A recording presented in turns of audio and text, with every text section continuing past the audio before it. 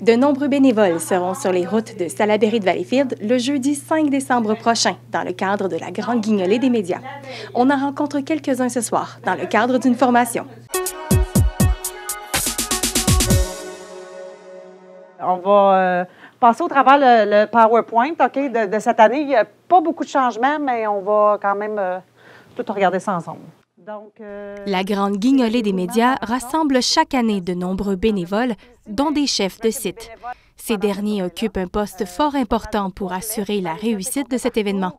Le 27 novembre dernier, ils étaient réunis dans les bureaux de Moisson Sud-Ouest dans le cadre d'une formation.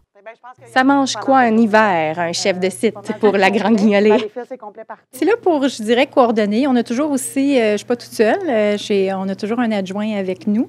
Puis, euh, dans le fond, c'est plus pour s'assurer que tout le monde qui se vienne bénévolement faire la collecte ont tout ce qu'ils ont besoin pour le faire, puis s'assurer au niveau de la sécurité aussi. C'est important, on ne veut pas que personne se blesse en collectant des sous.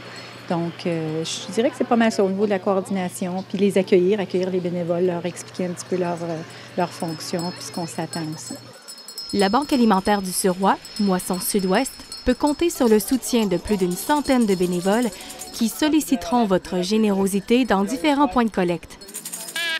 Mais qu'est-ce qui motive ces personnes à donner de leur temps? Je fais ça parce que, bon, c'est pas les causes qui manquent. Hein. Il y a la maladie du cœur, le cancer, tout ça, c'est des fondations qui sont quand même bien organisées. Ce sont des, maladies, c'est clair qu'on a besoin de la recherche. Sauf que Moisson Sud-Ouest, je trouve qu'il a un rôle euh, important euh, parce que la faim, c'est pas une maladie, mais c'est quelque chose qui qui ne devrait pas exister, selon moi, dans une province ou un pays comme le nôtre. Moi, ce que je trouve le, plus dommage, c'est d'avoir un stress financier. Certaines familles euh, les plus démunies, un stress financier, je pense, au temps des fêtes, euh, qui est un petit peu dommage parce que c'est le temps de se réunir en famille, puis d'avoir de, l'argent, puis de pouvoir euh, manger tout le monde. Puis il y, a des gens qui vivent ce stress émotif-là dans le temps des fêtes. Puis je trouve ça dommage pour ces familles-là. Donc je pense que c'est important de les encourager pour que on oublie ça pendant cette période-là. On oublie tout le, stress financier, puis on passe juste un bon temps en famille. Bien, merci. Bonne journée. Moi, je viens pas ici dans les, euh, dans l'entrepôt de Moisson Sud-Ouest, mais je sais que ce qu'on fait, il y a un petit quelque chose de, de, de, nous pour faire en sorte que Moisson va pouvoir euh, peut-être pas combler tous les besoins, mais en faire un petit peu.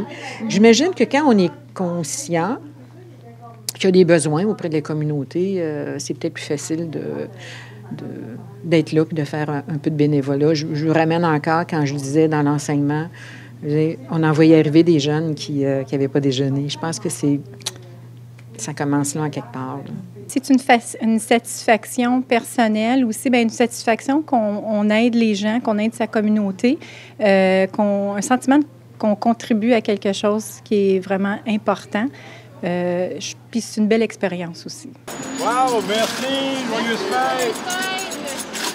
Si vous aviez un speech à donner à ceux qui s'intéressent à venir faire du bénévolat pour cet événement-là, qu'est-ce que vous leur diriez? Juste essayer de se mettre en, dans, la place de ces gens, des gens qu'on veut aider, dans le fond. Euh, sans être millionnaire, on, réussit, nous, à se nourrir puis à acheter des choses qu'on veut. Mais même à ce point, à ce niveau-là, des fois, il faut faire des choix.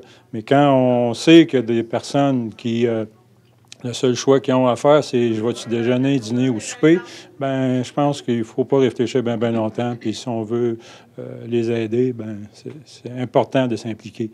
Euh, ça prend pas grand temps. C'est euh, une réunion, plus une journée, une douzaine d'heures. Puis après ça, mais il y a plein de gens ici qui font euh, énormément pour. Hein. Mais la journée de la guignolée, c'est une douzaine d'heures, puis c'est peu dans la vie, mm-hmm. ou dans une année, si on veut. Oui, c'est vraiment une belle expérience. Écoutez, c'est peut-être quelque chose qui est galvaudé, là, ce que je vais dire, là, mais il y a un certain bonheur à donner je pense que ça rapporte une reconnaissance. Les gens euh, sont très généreux d'année en année. Puis c'est le fun, euh, c'est le fun d'être sur place puis de, voir que les gens, euh, c'est une cause qui leur tient à cœur. Rappelons que la Grande Guignolée des médias est un événement d'envergure nationale visant à récolter des dons en argent et en denrées alimentaires non périssables. Dans la région, les dons amassés permettront à Moisson Sud-Ouest de faire une différence auprès des familles vivant de l'insécurité alimentaire.